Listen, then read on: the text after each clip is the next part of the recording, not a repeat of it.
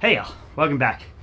We have strict Nate today. So really Nate is the classic uh, kind of benchmark hero workout. We added the word strict to it to make the exercises strict. That way we could bias strength a little bit more uh, and we don't have to test with something like kipping handstand push-ups. That is a very CrossFit competition thing, uh, but not something I was going for today. So uh, kind of keep that in mind. We'll have a bunch of ways we can scale this. There's going to be a lot of variations and, and levels, uh, and people doing some ring muscle up, people doing maybe some pull up and some strict ring dip work or ring row and push up work to replace these. We're going to have a lot of variations for the handstand push ups.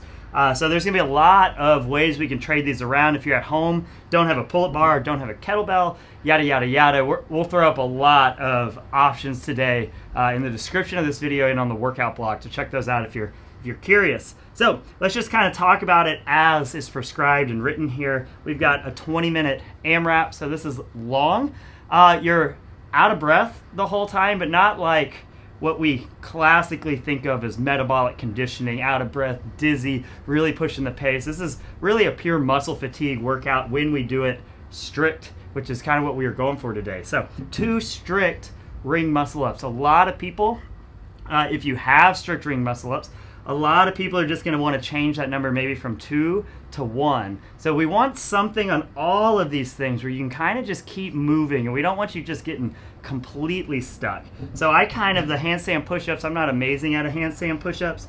Uh, so four, I probably would have had a much better workout if I would have done three the whole time and just lopped off that last one. That would have kept me moving through this a little bit more and four kind of made me uh, especially towards the end, have to go one at a time, take some breaks, and it kind of slowed me down. So if I were to redo it, I'd probably go two, three, eight, and so on. But really, what we're looking for with the strict ring muscle ups is a strict pull and a strict kind of press and that decline angle.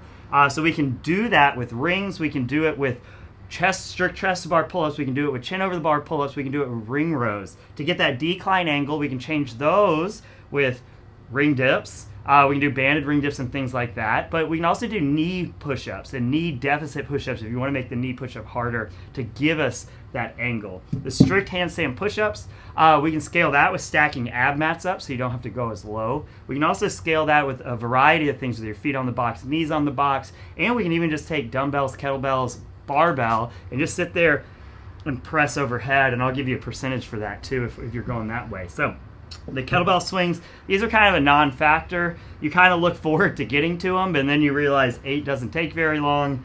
Uh, it's heavy, but a set of eight, after all this muscle fatigue stuff, not a big deal today. So uh, the, the kettlebell swings are kind of a non-factor. There's no real strategy. The strategy on these two things are really just listen to your body. You're going to have to come out with a, a strategy that's conservative, and you're going to have to update it as you go. But you shouldn't be hitting an almost failure rep and then try and do another rep just because you came up with you're going to go two and two on the handstand push-ups or something like that. You're going to have to make adjustments throughout this workout uh, as you go. So a lot of this one is just going to be working with your coach, uh, figuring out how to get this one scaled correctly. That way it's just a 20 minute kind of move consistently from here to here to here battle for positions, battle. Uh, it's a it's a tough one, but it's a lot of fun. I really enjoy these uh, muscle fatigue management workouts. Uh, 20 minutes is a long time. You start to realize that when you're like four minutes into this workout. So all you do is just take it one thing at a time, the next thing at a time, and kind of just ignore the clock because uh, really you're just trying to move consistently here. But it's a fun one. Another thing you can do is lop the strict off of this one. Just go Nate, make these ring muscle ups, handstand push ups uh, with kipping. So you could do that also. Uh, the ring muscle ups would uh, change. Uh, sorry, the scaling of them could change to burpee chest to bar pull ups. So taking the strict out of Nate would push kind of the metabolic side of the conditioning of this workout as opposed to just the strength. So that's always an option too. But for the programming, when we throw strict Nate in there, we are looking for that kind of muscle fatigue uh, workout. Hope that helps. Enjoy it. Talk to y'all soon.